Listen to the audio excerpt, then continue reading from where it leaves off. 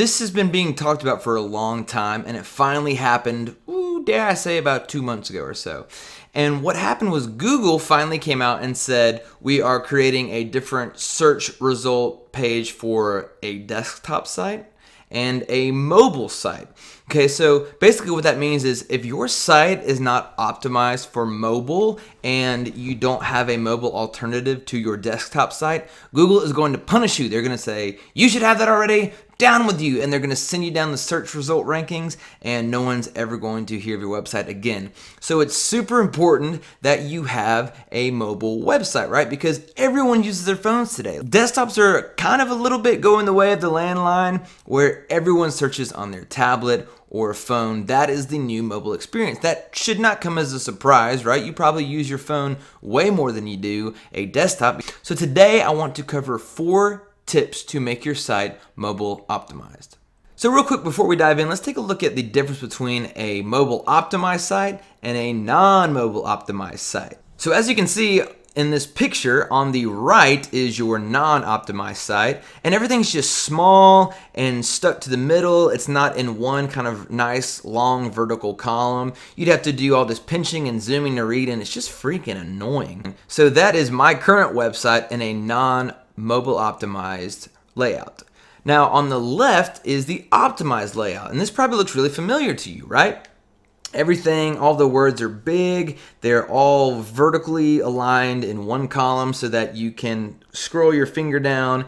All the fonts are appropriate sized. There's a menu at the top that has the little three line, what's called a hamburger menu, so that if you click it, the actual menu will drop down, also vertically aligned. So this is the difference between a non-mobile optimized site and a mobile optimized site. Step number one, keep it simple. So you have a home page, sure, but you also have multiple other pages to get stuff in. You don't have to stuff it all on the home page, all right? So we're talking a one column layout. Everything's stacked nicely on top of each other because you're thinking with your finger, right? When people pull up when you pull up your phone and you scroll down on a website, you're doing this. So everything needs to be stacked nicely on top of each other. It doesn't need to be spread out horizontally, it needs to be vertical, right? Because the smaller things are, it's harder to read. People like an old person holding their phone up. You don't want that. You want everything nice, centered, and vertically aligned on a phone. So keep it simple. Don't try and cram everything in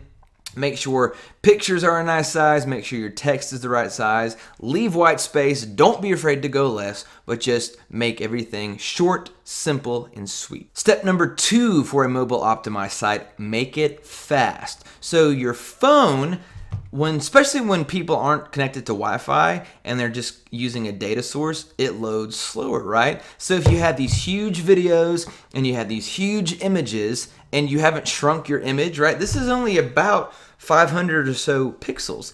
So if your image is 5,000 pixels wide, then not only does the image, does your phone have to load that whole image, and it might be 5 megabytes, 6 megabytes, 8 megabytes, but then it has to work to condense it down. Now that happens quickly, but it still takes up bandwidth and it still takes up valuable seconds to load your website. So if you're creating the mobile version of your website, shrink your images. Take that normal image that on your desktop site might be a thousand pixels wide and make it 300 wide. All right, condense it so that your server does not have to do as much work. Also, you can upload it to a site like Optimizilla, and what that's going to do is it's a pixel condenser. So it's going to take all the pixels in your JPEG image that's on your desktop site and condense them. It'll be a little bit less quality, but it's not something that most human eyes can see. It's just a little bit and it combines pixels to make your size, your file size, smaller. So serve up appropriate sized images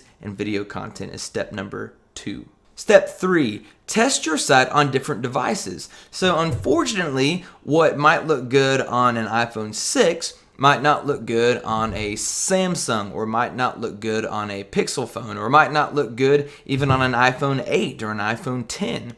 So you can do this a few different ways. Obviously, if you have a few different devices, you can pull up your site and just make sure everything looks as tidy on the other devices as it does on the device you built it on just to ensure a fluid experience. Step number four, make your contact information easy to find. The purpose of most websites is to get people to reach out to you and your business so that you can get leads and you can generate clients and make more money or generate new customers.